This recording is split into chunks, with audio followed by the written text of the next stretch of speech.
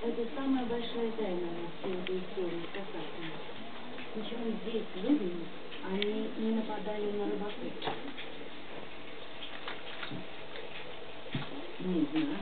Я никогда не слышала, чтобы касаться бросился на человека. Может, мы не слишком скучные?